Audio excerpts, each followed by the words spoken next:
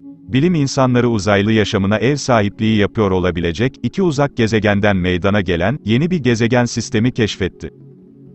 Bulunan iki gezegen, LP899 adlı küçük, soğuk bir yıldızın yörüngesinde. Bu, benzer şekilde, ilgi çekici TRAPPIST-1'den sonra gezegenlere ev sahipliği yapan en soğuk ikinci yıldız.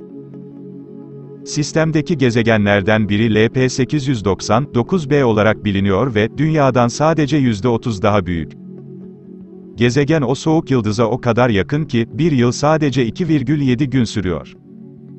Sistemin LP899c diye adlandırılan, tamamen bilinmeyen başka bir gezegeni daha var.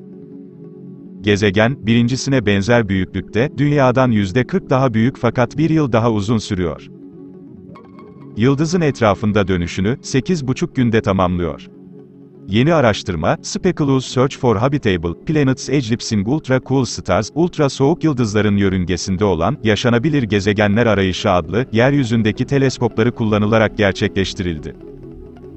LP899b gibi çok soğuk yıldızlar bu tür takip gözlemlerine ihtiyaç duyar, çünkü uzay teleskopları onları tespit etmekte zorlanabilir. Bilim insanları, yeni gözlemlerine ilk kez, NASA'nın Güneş sistemimizin dışındaki gezegenleri arayan, geçiş halindeki öte gezegen araştırma uydusu tarafından, muhtemel bir dünya olarak tespit edilen, ilk gezegenin varlığını teyit etme umuduyla başlamıştı.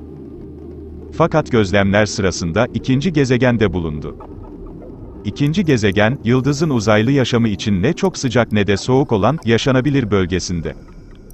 Birmingham Üniversitesi'nde öte gezegen bilimi profesörü ve ikinci gezegenin keşfiyle sonuçlanan gözlemleri planlayan, Speculus çalışma grubunun lideri Amaury Tiro, yaşanabilir bölge, dünyayla benzer jeolojik ve atmosferik koşullara sahip bir gezegenin, suyun milyarlarca yıl boyunca sıvı kalmasını sağlayan, bir yüzey sıcaklığına sahip olacağı kavramdır dedi.